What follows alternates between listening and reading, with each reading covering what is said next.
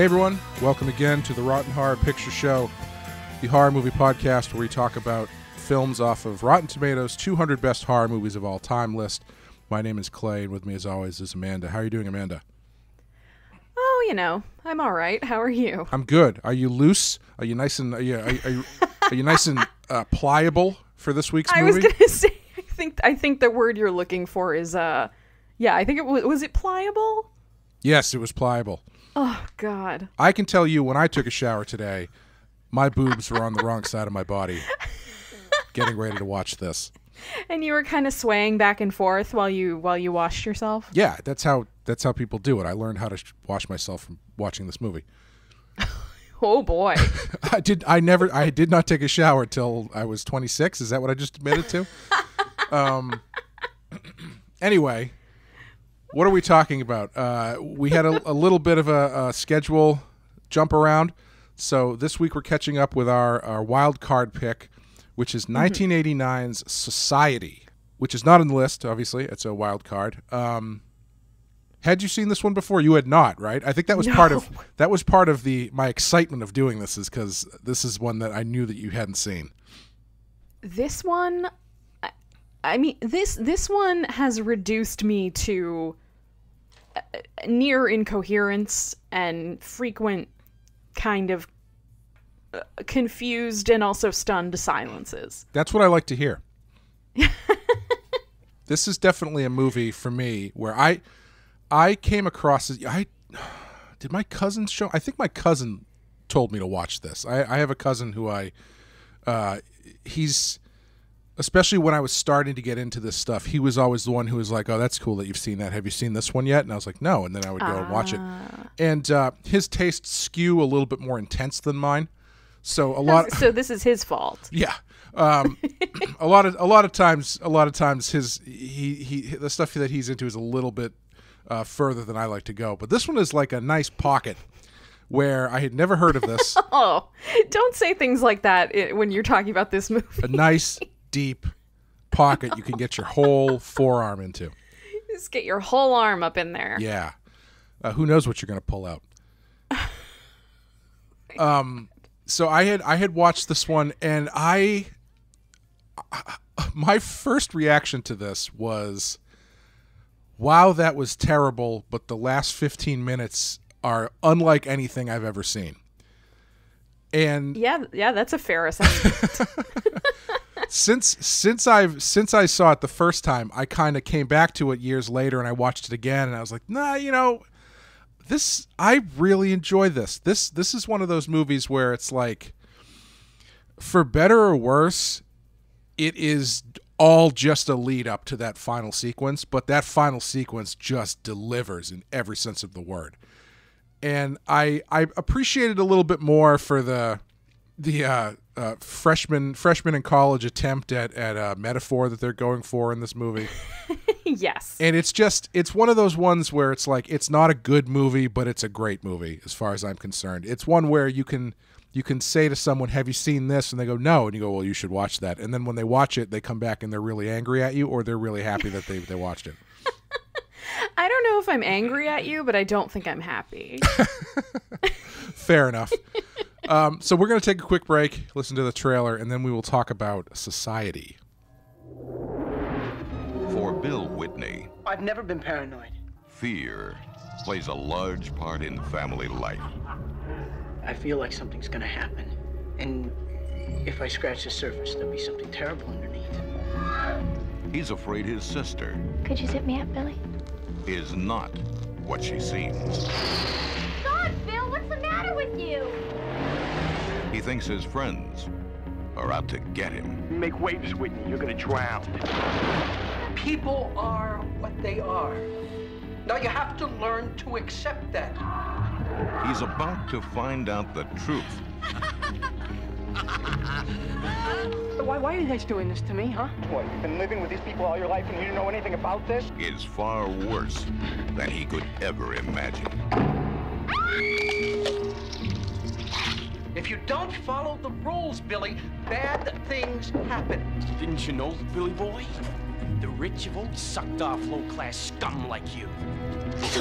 Uh-oh, Billy. Clarissa? Don't be so intense. Now, some people make the rules and some people follow the rules. It's a question of what you're born to. You never were one of us. You know, you really deserve what's going to happen to you. I, I don't think so. Wait.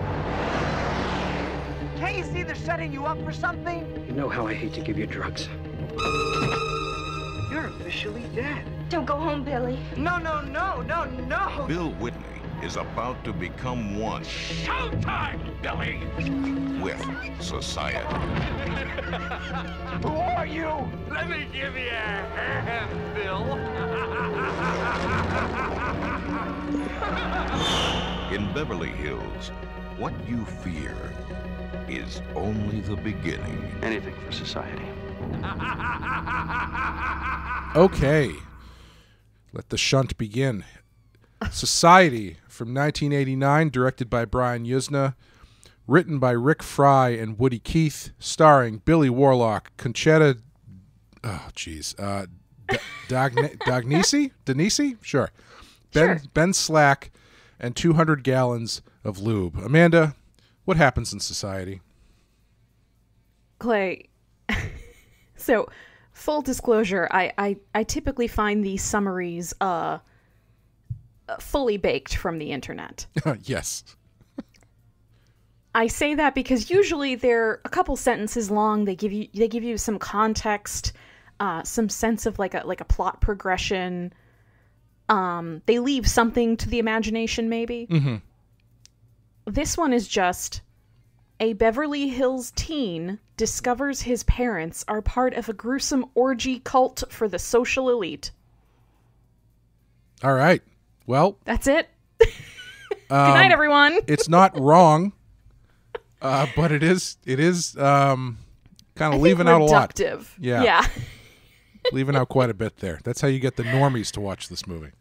I guess so. Um, so Clay, Mm-hmm. some things you might find in this movie include Mm-hmm. a literal butthead, Yep, inappropriate boob placement, always bad. Rotten horror picture shows Mother of the Year, And we've seen a lot of mothers on this show, but but uh, Clarissa's mother in this movie is, I think, our Oh our my favorite God. we've seen so far. she is the best. She is a treasure. Uh, family bonding. Mm-hmm. And you know, we wrote this one as questionable parenting, but I kind of want to change it to just bad. I was just I was bad actually thinking the same thing.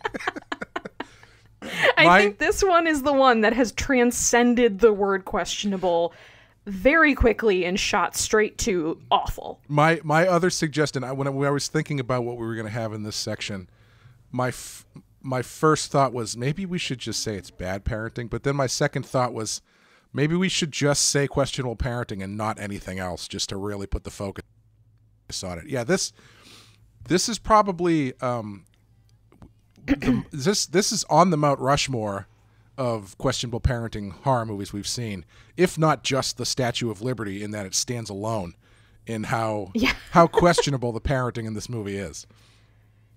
It it is exceptional. We have we have not seen a movie where the questionable parenting element has dipped so closely, or I guess dipped is not even the well, I guess it is the right word for this movie into uh, like incest, and just there, there's a lot going on here that is yeah, questionable at I w- best. I would even argue that dipped is too light a word. Like this plunges. Yeah, just fist first, right into it. Oh my God. So um, yeah, so Society from 1989. Mm-hmm. This is the tail end of the 80s horror special effects boom. Uh, Brian Yuzna, the director of this, was the producer on Reanimator, and he produced a few Mm. other movies of Stuart Gordon's. Uh, this is the first movie that he directed. He also later directed uh, Bride of Reanimator.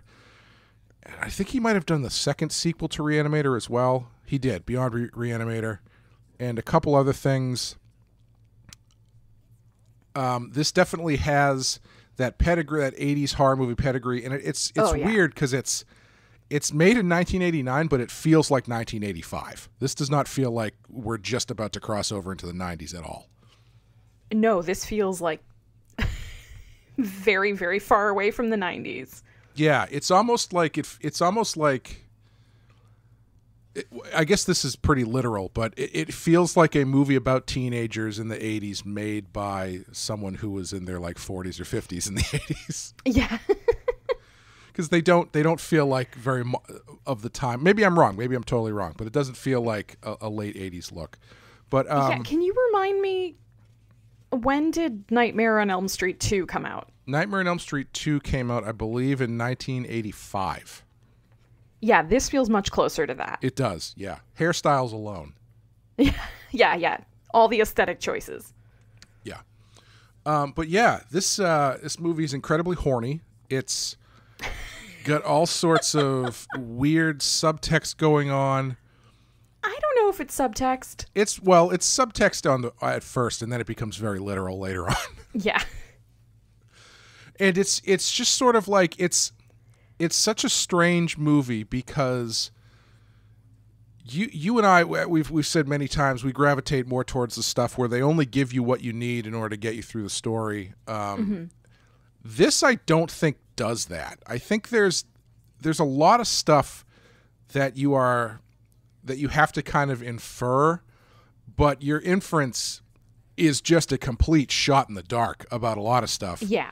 They don't do a great job of laying out exactly what the setup is at the beginning which makes it a little No, bit hard it makes it a little bit hard to drop into uh, did you uh, I've, I've seen this maybe three or four times now so i understand what's going on but did you find that to be the case when you're watching it Oh, absolutely. I felt right away like I'd missed the first maybe 15, 20, even 30 minutes. Mm-hmm. Um, yeah, it's it's for something that has a premise that shouldn't be that hard to establish. It has a really hard time establishing it. yeah like you, you said when we were watching it last night it's basically 80s white yuppie get out more or less Yes. when you said that i was like yeah kinda more or Yeah. less but just I didn't know there. it was coming, and you were so like hedging it back. Yeah, yeah. But yeah, it's it's I find that it's it's its setup is not super uh super clean and it's uh, you're right. It's it's something that should be very straightforward. But I don't know why it gets so lost in the weeds cuz it's not like it's not like they spend a ton of time on other stuff. They they it's all kind of there. It's just like they they don't drop you in at a point that's easy to kind of really track what's going on.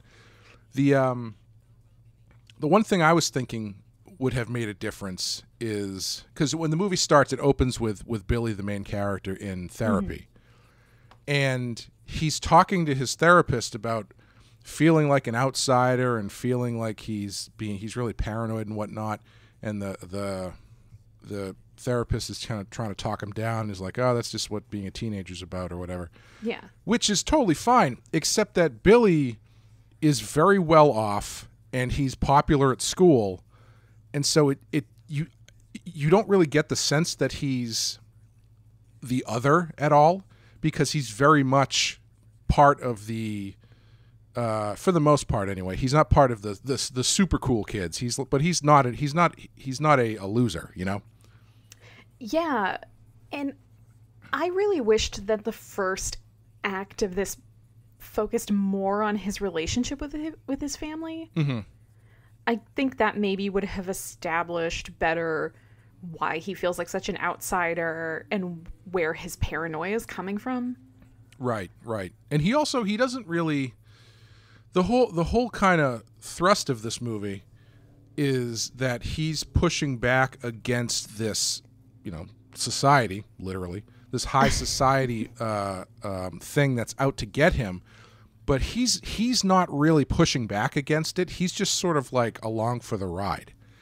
He's Yeah, getting and it's only out to get him in so much as like the literal metaphor. Mm-hmm. He's not from the other side of the tracks. He's not like if you're trying to extend the class war metaphor that this is very clearly going for. Mm-hmm.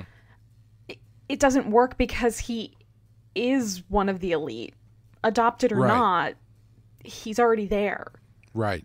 And I I heard the director talking about that, and uh, someone asked him, "It's like, well, it's he's not really that much of an outsider." And the director said, "Yeah, that's exactly the fact that he's not an outsider makes it that much more jarring that he's feeling this way." And I was like, uh, "Oh, like, oh, fine, Yeah. I understand, like conceptually, but as far as storytelling goes, I don't think that's the cleanest way to to do this." No, if you're going to go for a really clear, I would argue heavy handed, um, sort of like class warfare critique here, having the victim be a guy who has like a high end Jeep Yeah. and he's a varsity athlete and he's student body president and he's got a hot girlfriend. like, I don't know. I maybe part of it is I just didn't find him sympathetic in any way. Yeah, no, I, I, I totally, I'm totally there with you because his, his paranoia and everything just seems to come out of nowhere because you don't really get a sense that he's really removed from anything. And I think you brought up, you brought up whether or not he was adopted. That's another thing that they don't ever actually come out and say, and would really go a long way to help if they did. well, doesn't don't don't they say in that insane ending sequence? the like, uh, the grand, you mean the grand shunting? sure.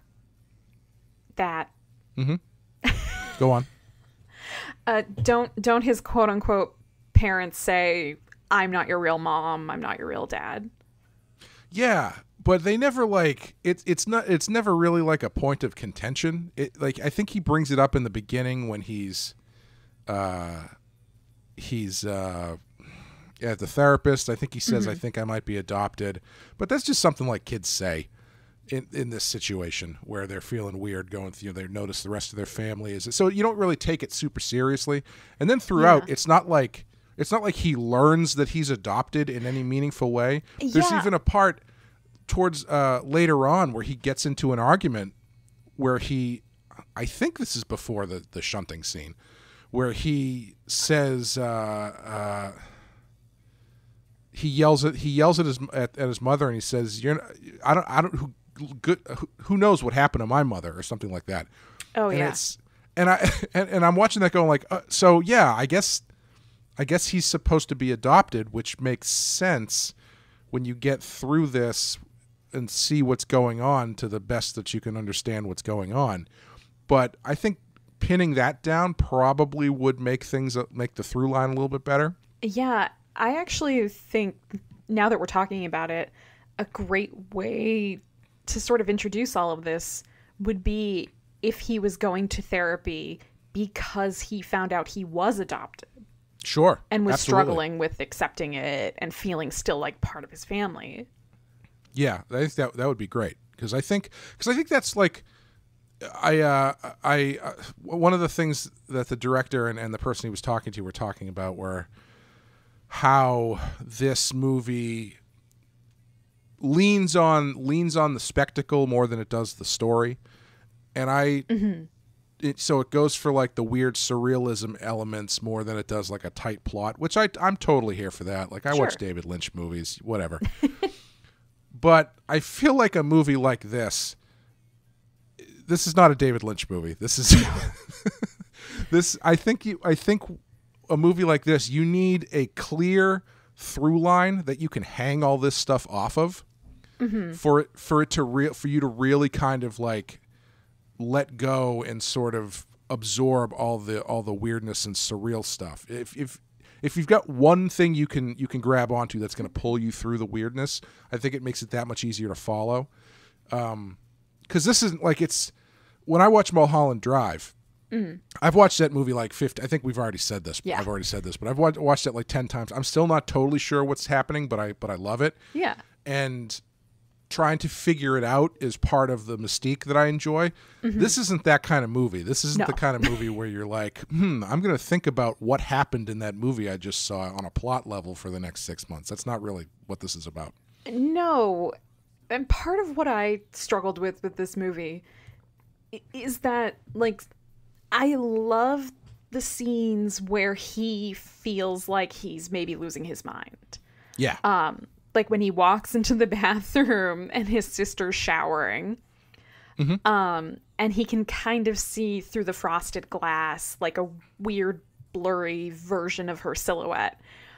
And he's seeing her ass and her breasts on the same side of her body. Um, like that scene, and then the scene where he's just had sex with Clarissa, and he's like looking up at her in the bed, and she's like, she's half covered by the blanket, and the way she's laying, like her legs are in one direction, her torso's in another one, her arms are mm-hmm. kind of weird, but you can half eh, sort of try to justify it because of the placement of the blanket, but the longer mm-hmm. you look at her, the more uncanny she looks. That kind of stuff is awesome. I wish there was more of it. I agree. Like yeah. maybe even some stuff that's on that level, some stuff that's even more a little subtle.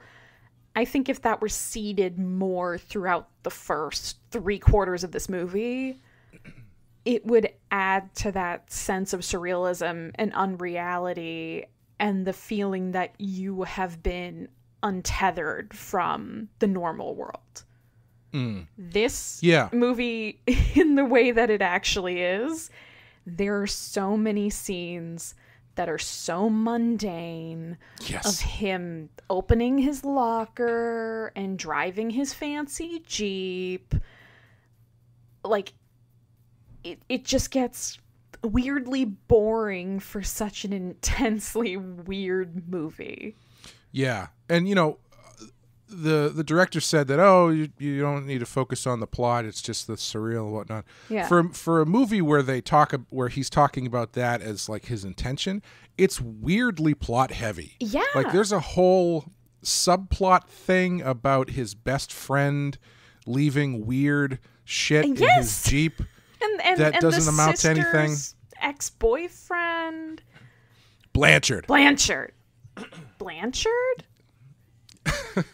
Blanchard. Yeah, it's. I mean, it, there's a lot of like, there's a lot of like red herring stuff going on, Mm-hmm. but there's not really. Uh, I, I don't really know what it's red herring for. Like, yeah, what is it supposed to be leading us towards? right, right. It's not. It's like the stuff that's happening in the jeep with Yeah. the blow up doll and whatnot. his his friend revealing that that was him doing that doesn't somehow give us an insight onto anything that's happened or Yeah, his whatever. girlfriend wanting an invitation to this party while they're making out at the beach. Like, didn't Mm. super need that except for the stunning and amazing introduction of Clarissa's mom.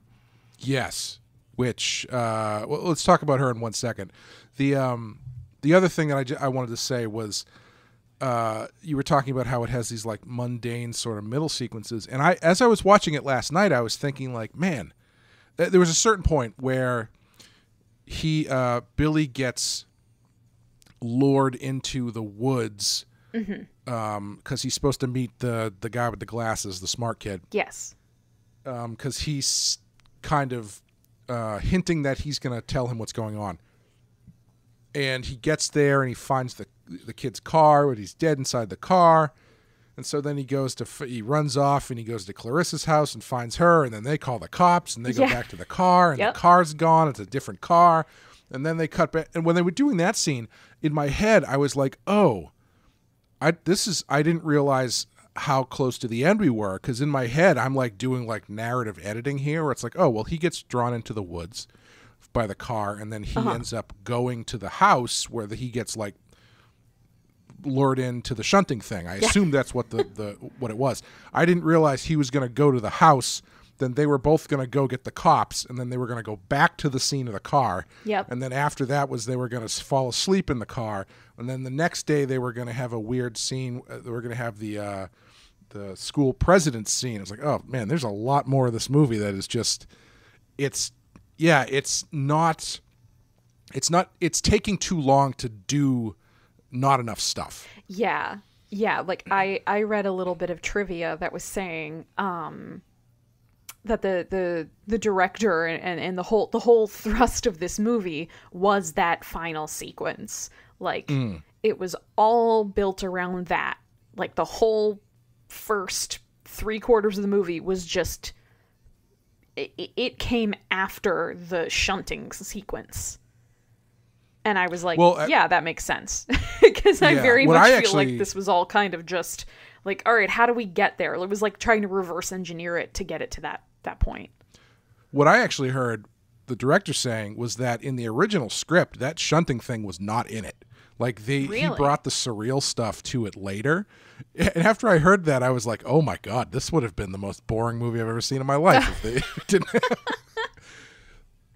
you know, Yeah, Um, yeah. but that that's not to say movies uh, it couldn't have worked. I just don't think the script was is really there oh, for that so because I written. I think one of the things that that also stands out to me with this movie is just that I I really like um everybody against one guy who doesn't know what's going on like gaslighting type stories. Mm-hmm. They're always fun. Like The Wicker Man is one of my favorites. Oh yeah. A- anytime you can do that and do it well, I think it's a very satisfying story. So this has like a kernel of that. This is one of those where I where I'm like, you know, if you took like one or two more passes at this script, I think this would have been a really tight, really great movie. I, I would argue for maybe more than one or two passes at this. I don't know. I don't know if maybe it's because of my like editing roots or whatever, but just like the way the way people speak to one another in most 80s movies is not the way any human beings have spoken to each other in the actual world at any point. Correct. Correct. This takes it to a different level, though. Like, there are exchanges where people say things that are just in inside of the context they don't make any sense. Outside of the context they still don't make any sense. It's not like slang. It's not there's just out in the in like kind of the climactic sequence where where he's he's triumphantly taking the girl and leaving the house one of them says like um you better not ever show your face here again or something like that and uh our our hero re- replies like something like don't count on it Yeah. and it's like what Yeah. the, the uh, Clarissa Well, let's- asking, "Do you want? Here's your tea. Do you want milk, sugar, or do you want me to pee in it?" I was just going to bring that one up. Yes. There's some What? really really weird lines in this that like he doesn't even bat an eye when she says that. Yes. Um. Like I, I yeah, wish he was just- just kind of like, "What is wrong with you?" Then I would be like, "Okay." I'm on this guy's side, but he's just like, haha, very funny, give me my tea. And it's like, no, Yeah. what? This is not a thing you say to people. Yeah. This definitely it definitely does feel once you know where this movie ends up, looking back on it, it definitely does feel like okay, they're just they're just biding their time to get to the last half an hour. So. Yeah. Oh, definitely. Which I per you know, generally, sure. Objectively, if you want to use that word, I don't like using that word, but if you take a step back and look at it, is not they could have done so much more, but knowing how it ends and watching people get to that point when they watch it, I find very satisfying. and because like I, it's I I do think it's it's it's one where it, you're kind of like riding the line where you're going like, what the hell's going on here? This is all really weird. And the mother the mother plays into that. We could talk about her in a second. Um, and then you go, what's going on? This is very strange. And then you get to that ending, and everything just they just throw everything out the window and it just it just ratchets all the way up into something like I if you if you stop this movie if you if you took five five or ten people who had never seen this before and stopped this movie uh, two scenes before the shunting scene and you said okay you've watched 45 minutes or an hour and 15 minutes of this movie how do you think this is going to end? I guarantee you none of them would pick this that none Yeah. of none of them would guess and correctly. if any of them did and hadn't seen the movie, I would be deeply worried about their mental health. yes, like you can get close, like uh, like your husband said. Uh, he, I think they're pro- they might be from a different dimension Yeah, or yeah. something, and I was like, yeah, he, you're not wrong. Yeah. but that that's just like scratching the surface of what actually happens, you know.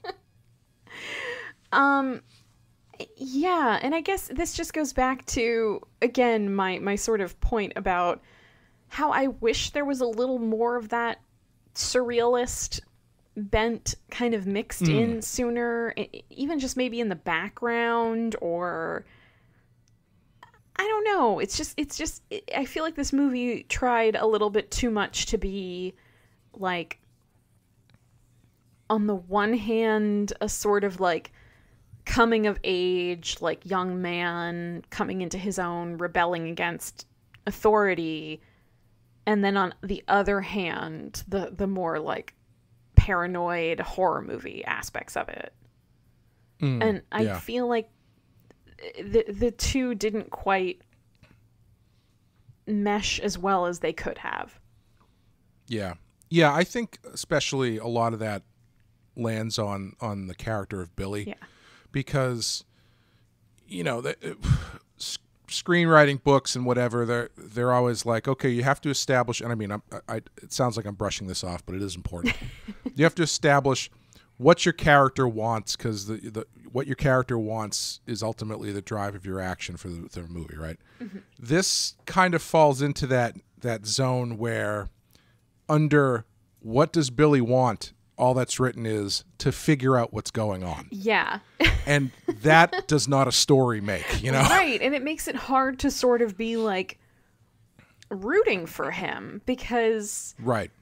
it's you know maybe you're not rooting against him but you're also just kind of like all right if he wants to know what's going on like why is he handing over the tape recorder? Like mm-hmm. why is he not you know putting in more effort to sort of like i don't know follow his family one day when they think he's at school or I don't. I- It just seems And like he, he's weirdly without agency in right the whole movie. and he also kind of sucks yeah. like he's he's not a great great person or great character No, he's, no, he's like so ready to just start cheating on his girlfriend. He's like, yeah He's so I- see into that's it. That's part of his lack of agency though is because he's that scene where he hooks up with clarissa it's not even like that's something that he's going after. It just sort of happens to him. Yeah, and he just sort of floats through it. Yeah, and that seems to be that seems to be everything he does in this is just him floating through all of these things happening around him.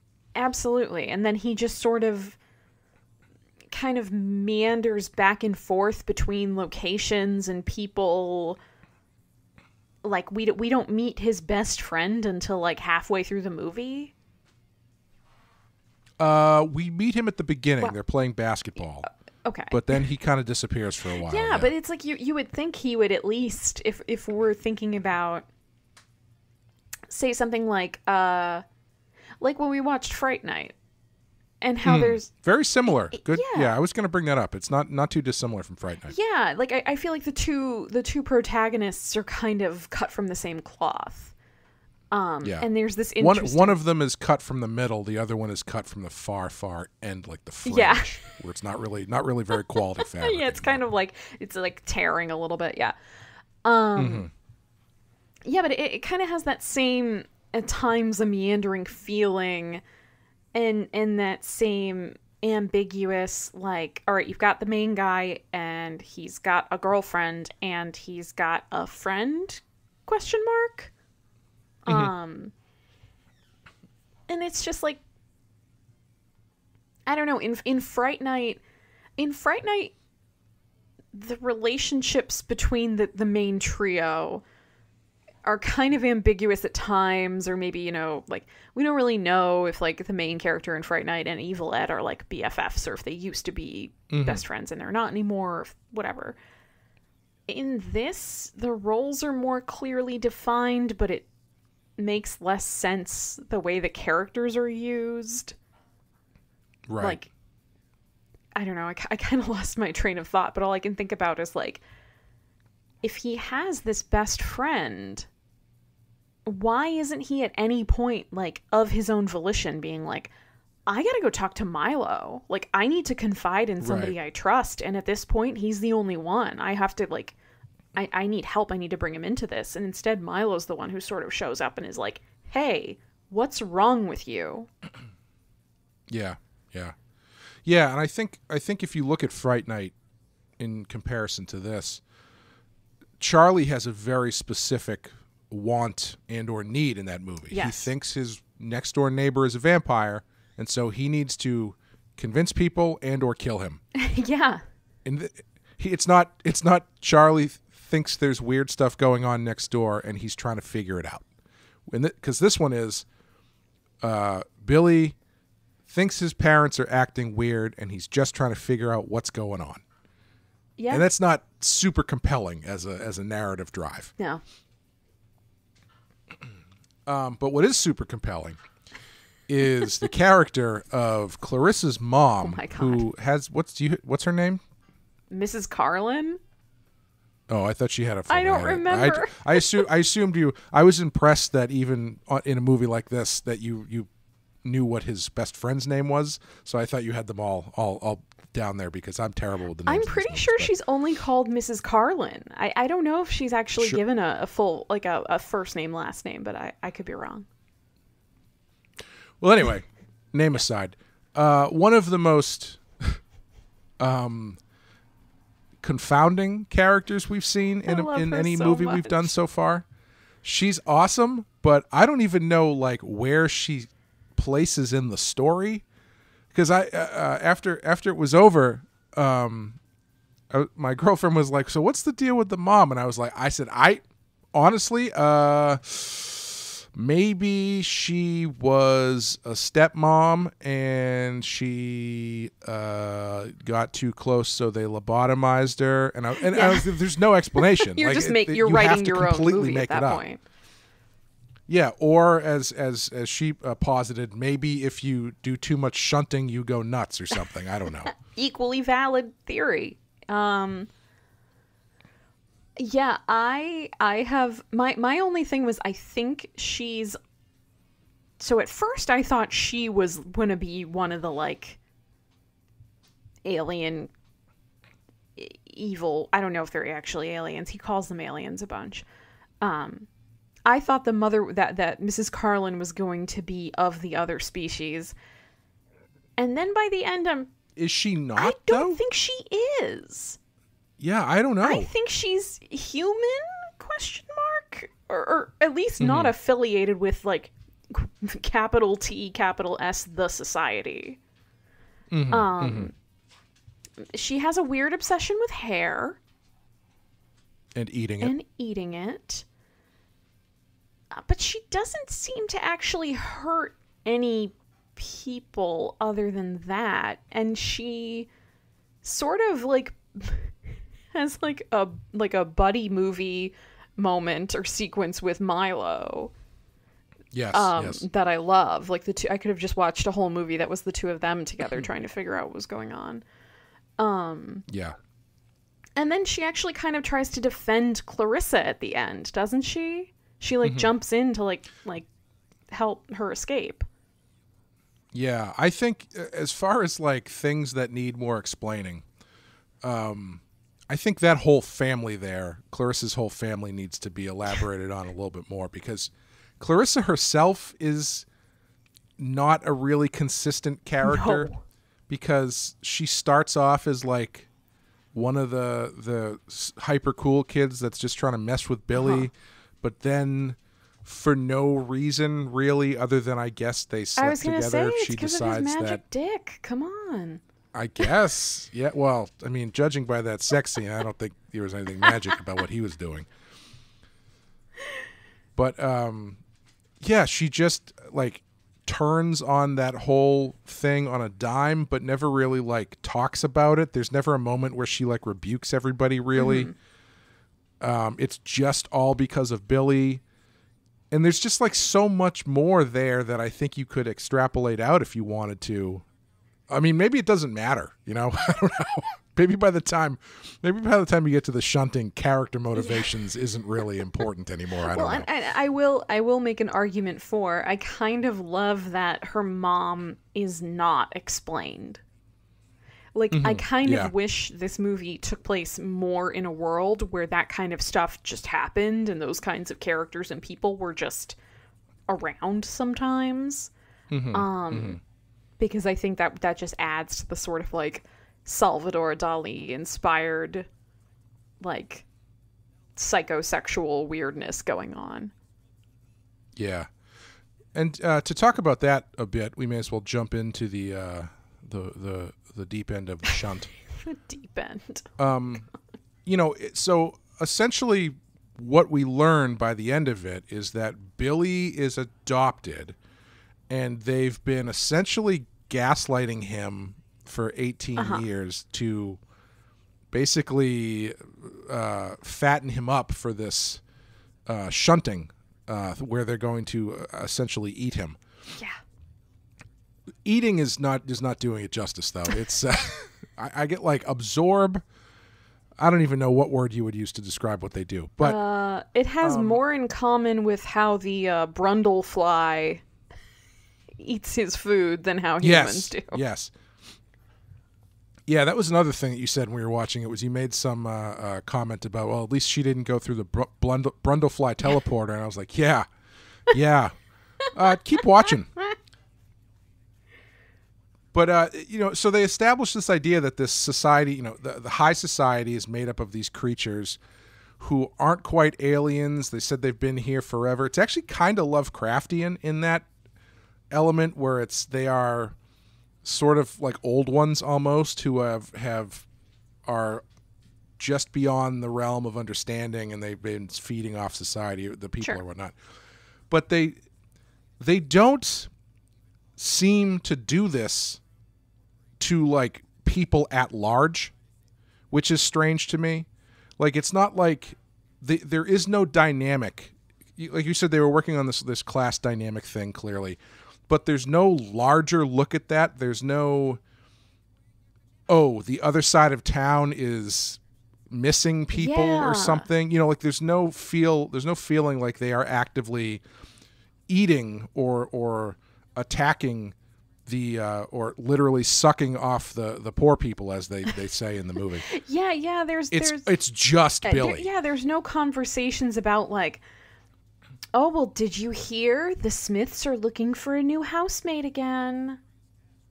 So hard to find right. good help these days. Like you, you could kind Yeah. of play into that whole thing where it was like, you know, the gardener keeps going missing, or like they have a cook, but the cook keeps quitting, quote unquote. Like, yeah yeah there's there's some pretty easy shorthand ways to be like you know the the people who are tasked with doing the like quote unquote lower class like menial labor kind of jobs are being devoured by this group. Like you you don't get that. The only real victims you see are Blanchard mm-hmm. and Billy who is a victim Blanchard who is a victim of necessity not because you know they're they're out to they're out to get him in general it's just because he's he's going to expose. right he, he found out too much Yeah, which is which is another weird thing too, because uh, the, as they were saying in the in the commentary I was listening to, uh, when they get to the end, when we were watching it, I was like, they just let him go. Like after he after he fists Turd Ferguson there, um, and turns him oh inside out, they just Oh yeah, let they him just leave. let him walk out. They're all like scared of him now. They, yeah, they've been cooking up this plan for 18 years to eat this Yeah. kid, and then he beats that one guy in a fight, and then they just let him walk out the door, and then get in a car and drive away. And on the commentary, the person who was with the director said, "Oh, that's kind of interesting that they just let him go." And the director's like, "Well, I mean." It doesn't matter. I mean, it's not like anybody's going to believe him if he tries to tell. He's of no, he's of no consequence anymore. And I was like, I don't think that that just doesn't jive with what you're doing here because the whole point is that they were going to eat this kid. They've been waiting 18 years and they just let him leave. yeah, And I I think that's sort of like that that is that is very representative of how much they leave on the table story-wise here. uh, because there's no other. It's not like they're going after other uh, groups of people. They don't. Um, there's not. It, all just feels like they're they're running in place until they get to the cool stuff at the end. There's so much more I think they could do with the story. It's unfortunate that it's not, uh, if, from that standpoint, um, a better written movie. Yeah, and I'm I, I think neither one of us is asking for like a ton of like highfalutin symbolism or like extra complexity to be added to this. We're just sort of asking for like a clarification of like a, a- basic clarification of the plot, but also just like take the logic that you've set up in this movie by creating this conflict and like just extend that logic all the way to its like next conclusion. Right, um, and have more fun with it. Yeah, yeah, it's it's it just seems weirdly like it's it, yeah, for something that is so wild and so crazy when you talk about it in broad terms, it, it just comes up it comes across as so flat to me. Yeah, yeah. Um, so the shunt itself, what was your uh, what was your reaction to the the sequence where society they strip off all their clothes and get all gooey and start like turning into this mass of, of goop among other things. So I was not surprised by the fact that things were going to get violent. Um and I I kind of figured things were going to get somewhat body horror and gross just just based on, you know, who the director was and the uh, promotional image for the movie with the girl pulling her face off. Right. Um Mm-hmm. I I don't know. It felt I mean, so so the effects themselves are f- just fucking wild. Yeah. Yeah. Effects done by uh, Screaming Mad George, name who is a I have ever heard of. Yes, he was a uh, Japanese special effects artist and conceptual artist, and a lot of the stuff that they did in this is actually based on his personal artwork. I I like I'm all for all of that. Like I'm actually like the the minute people start like melting together into uh, sort of monstrosities, I was like, "Oh, okay. All right. Like this is this is completely insane." Uh, but it's great. I I just I kind of wish they had taken advantage of that sort of stuff a little bit more. I, I mm-hmm. don't know. It just it, it seems like such a waste. Like that the rest of the movie, I, I, I feel like I keep going back to the the beginning part of the movie, even as you're trying to speak more about the end. It's like if this is the direction you're going in, I would have loved to get a couple more hints around it and had some more kind of Sure. weird, like you know, would have been would have been great if a couple times the sister was sort of spying on him a little bit, and and there was some kind of like weirdness around, like, or, the, parents, yeah. because the parents don't the parents feature prominently in Uh-huh. the end and in the beginning but in the middle they just sort of uh, they're not really part of the story and i mean the whole they, they touch on them every now and then but it's not anything really substantial Yeah. and the whole story is is him is billy dealing with his family and and the the the social circle of his family and stuff like that so it's surprising that the the f- parents kind of fall to the wayside so much. Yeah, I, I think all of this kind of ends up in in as we as we're talking about it, I'm thinking more and more that I, I think the central problem of this movie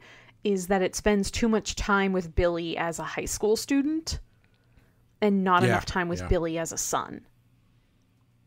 Yeah, that's a good and way to put it. I would it. just yeah. have liked to see more of that. Um, but to get back to the like batshit crazy ending of this movie, um, I love when his his parents and his sister go off on their own. And he ends Mm-hmm. up stumbling upon them, and they have like contorted themselves into the perfect nightmare monstrosities to sort of mock him. I think that yes. that was so just like jarring and weird and funny. I loved it. I thought that part was great. Yeah, when uh, uh I mean when you get to the sequence where his father's face is coming out A of his own ass. A literal butthead. Um and then like his mother and sister have turned into this weird like John Carpenter's The Thing monstrosity where the sister's face is coming out of the mother's Yep. crotch and it's just it's just yeah, it's grade A messed up imagery that is a level of uh, inventiveness and imaginativeness that I don't feel like you see a lot in movies full stop Yeah. anymore. Especially this is a uh, this is not a big budget movie and so clearly they you can see where they put their money and I think it's worth it.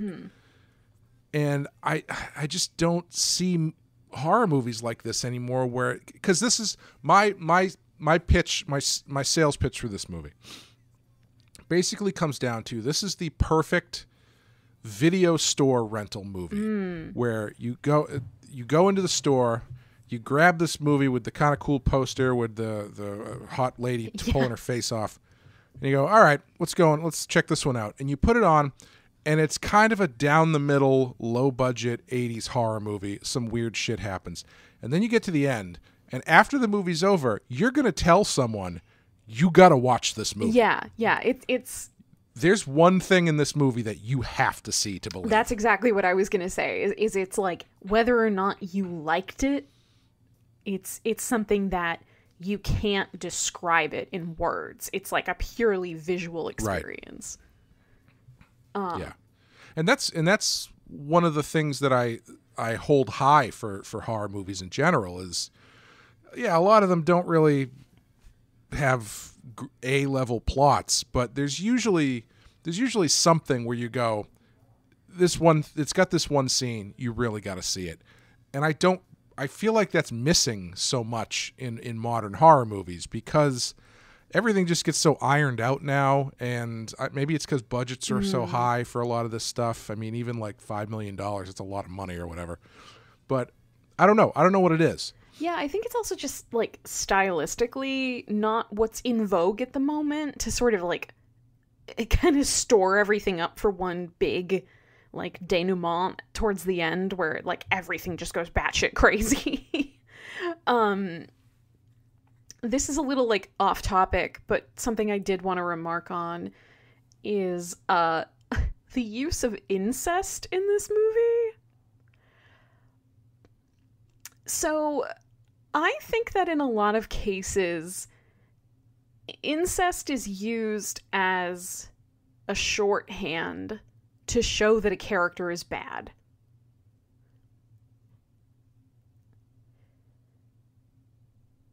Yeah.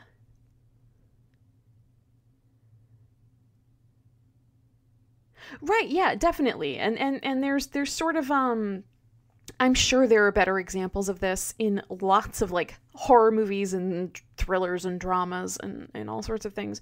But I think a lot about um the movie The Crow because I loved the movie The Crow. Um where sort of the main bad guy and his second in command are very clearly like they very clearly have a sexual relationship and then you hear later he calls her sister and it's like ah now we know how evil they really are because they're ha- they're an incestuous couple.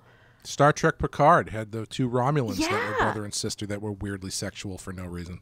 Yeah yeah they're like too much tension sexual tension and chemistry between the two of them. Um yeah and i always think of it kind of as like a lazy version of just being like look how bad they are. Like normal social mores and rules don't apply like they don't think it applies to them. They're they're clearly messed up. But it's always kind of just played for this like like it's it's never this movie doesn't let it just be a simple overtone or like a light veneer where it's like, yeah, we're just gonna like have some vaguely incestuous scenes where they're all sitting in like skimpy pajamas in the parents' room touching each other's mm-hmm. hair. Mm-hmm. Like this movie pushes it all the way, like mm-hmm. into Freud and beyond. and it and it's the, the thing that i love about it is that you as the viewer are not safe from it because Yeah. you're seeing it through billy and billy is not explicitly going this is disgusting like Right. when he goes it's like he goes in when he goes into the, the bathroom where his sister's uh, taking a shower uh-huh. it's like it's almost as though they're saying yeah what's it like to have a hot sister isn't it doesn't it make you feel kind of weird you yeah, know like, like yeah, like he's not.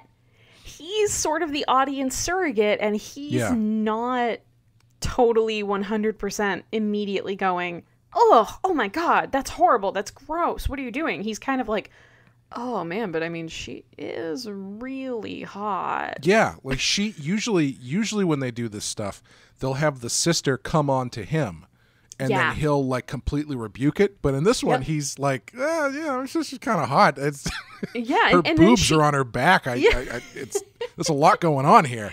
and and she kind of like gleefully mocks him for it at the end when she's uh fused with their mother and she says to him like oh if you had uh if you've ever had any oedipal fantasies like now's your chance. Right, right, or something like that. And it's it just doesn't like in that sense this movie doesn't rest on its laurels. It does it Right. doesn't just like take these things as just like oh we'll just throw in a dash of that and that will horrify any, everybody and that's enough this movie is very good at saying like no it's not enough. We're gonna make it worse. Yeah, and I do I do appreciate that stuff, and I do think that's one of the things that it does well and better than most movies of this ilk, where the psychosexual weirdness is played pretty effectively to make you kind of feel weird and uncomfortable. Uh, absolutely. Because, like I said at the top, it's a very horny movie because your main character is like this 18 year old kid who's got hot women everywhere he looks, and he's one of them happens to be his sister, and it's like it's a all of that stuff kind of boiling underneath this weird gaslighting plot. I think actually works really well. Um, maybe maybe not really well, but I think it's I think it's a it's a good addition to make everything just feel that much more uneasy. Yeah, and I and I think there's something about the um like you're saying, oh, this movie's really horny, but like being a teenager, every t- like teenagers are really horny. Sure, yeah. So it plays into that aspect of it as well, where like so much of this is about like that feeling of being a teenager where you're not a kid anymore, but you're not fully an adult. You're not in the world of like childhood, but you're not in your parents' world. Mm-hmm. Your relationship with your parents has changed in this way where where you're not their equal yet, but you're also not like you don't you don't define yourself in relation to them anymore.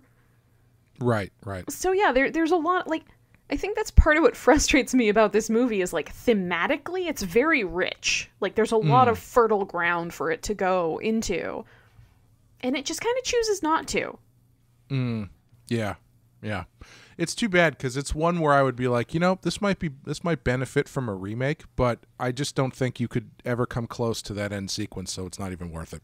yeah I, I i think once an end sequence like that has been done you're if, if it's like a direct remake or sequel or whatever you're just never going to get the same shock value out of it Right, right. If the if the shunting had been underwhelming, the shunting why is it called that I don't know. It's great. what though. does that mean Again, it's just such a disturbing word. It's a horrible word. But like, if that if that sequence had been underwhelming, or clearly hampered by uh, production value or something, then I could I could see okay, maybe this is worth circling back to. But an anything, it's so good Yeah. that anything you try to do is just going to pale in comparison because you're going to probably use CGI, and even if you don't, even if you just do, pra- you just it's not gonna it's not gonna work the same way. Definitely not. yeah, I think I think this this sequence was the result of a very small group of very specific people with very specific uh, vision and skill all coming together at the right time. I, I don't know how you would ever recreate it like in the same spirit. honestly, what can you really ask for more than that? You know, it's sometimes sometimes they knock it out of the park, full stop. Sometimes you get a weird movie like this that has an amazing sequence at the end that that uh, you, you force your friends who you do podcasts with to watch. anyway, um, this is not on our list. Would you? Do you think this deserves to be on the list? No.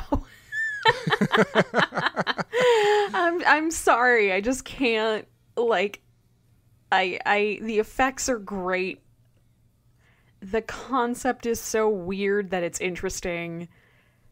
But I I didn't find I didn't find it even a little bit scary. I mm-hmm. found it deeply disturbing and unsettling. And uh occasionally It's our brother and brother and sister to scary. I guess. Right, right. Yeah. I mean, I'm not I'm not trying to say it's like not a horror movie or something, Right. but I I just yeah. It's it's it's kind of in a in a league of its own for better and for worse. Mm-hmm. Mm hmm. Yeah, I'm gonna I'm gonna agree. I I don't think do I. I'm gonna agree with an asterisk because Sure. If I'm being completely honest, no, I don't think it deserves to be on the list of the 200 greatest horror movies of all time. But does it deserve to be on this list? There are a few movies on here that I would gladly sub out if it meant that the Grand Shunting made an appearance on this list. Absolutely, because it's Can can You you, know- not to put you on the spot, but do you have any any on hand that you would cast away in order to get Society on the list? Well, I hate Phantasm. Phantasm's on this list. I would I would dump Phantasm to put the to put Okay. Society on here. I know people are going to yell at me because Phantasm people love that movie, but um, I mean, American Psycho is back on the list. I, I don't think I would replace it with a pl- replace American Psycho with Society just because American Psycho is is very good. Um, yeah, I guess this would be an honorable mention movie for me, where I think I think this is this is the quintessential wild card movie where unless I had actively chosen it and made us watch it, there's no way we would have ever watched it. So Yeah. No, I, I, I think that's very true. I think uh as evidenced by the fact that you, you threw this out there to our wider group of friends and we're like, Hey, anybody? Anybody? I was- no one I was fairly upset, not upset, but a little disappointed that that happened because I was really hoping that more people would get to, to watch that that end sequence and be horrified by it. But maybe maybe they did their research and wisely decided uh, they had better things to do with their evening. I mean, I would definitely say to anybody, I might I might be jumping the gun a little bit. Uh, but to anybody who wants to watch this movie, do it with friends or or do it Yes. with a, an, an open-minded family member or you know have have a, a google hangout going on and, and watch it in tandem whatever you need to do. But like having another person there is important because there were so many times where i was just like what the fuck? Mm-hmm. And it was mm-hmm. very nice to be able to have greg you know next to me also being like well you don't see that every day. Yeah, I I got to I think the best part of this experience watching this with you was the uh, the two very different responses that I got from you and your husband. Which from you it was uh, um, I don't know what to say at the moment other than wow, followed up by from him great movie. And I was like, all right, that's all I asked. he he, he did uh, somewhat facetiously say uh, this is my new favorite movie at one point i don't think it was during the shunting i think it was during like one of the other scenes but it was uh Yeah. it was good timing I had a fe- I had a feeling he was going to be in on this one. Anyway. yeah Um, that's going to do it for society. I have hit the randomizer button. Beep, boop, boop, beep, boop, boop, boop, beep, boop, boop, boop. And next time we will be doing number 137, which is Poltergeist, which is a, uh, uh, a a fairly well known one that I'm surprised is not. I'm surprised it's not higher, but I'm also surprised it's not lower. Let's put it that way. I am eager to re-experience that one. Yes, yes. Yeah. Uh, it's a different. Uh, you know, I, I'm sure we'll talk about this in the show, but it's it's really weird looking at Poltergeist. And um, the first time I watched it, I was the age of the kids, and now I'm the age of the parents. Yep. And that alone is more horrifying than any movie I can think of. Existential dread, man. But uh, that's going to do it. Thank you guys so much for checking it out. If you want to give us a rating or review in iTunes, that would be great. We're still doing our Patreon push. If you want to help us uh, get you guys some more Friday the 13th coverage, you can go to patreon.com slash Pensky File. We might just start doing those and just putting them in the in the in the tank, Yeah. and uh, then no one will ever hear them. Secrets. But we'll know that can we have a did them. vault. Yeah, well, like Disney. Every 70 years, we'll release one episode for six months and then then take it away. For I'm, I'm 100 putting it in my will. There you go. um, thanks, guys. Thank you, Amanda, for joining me. Thank you, Clay. And we will see you next time. Bye.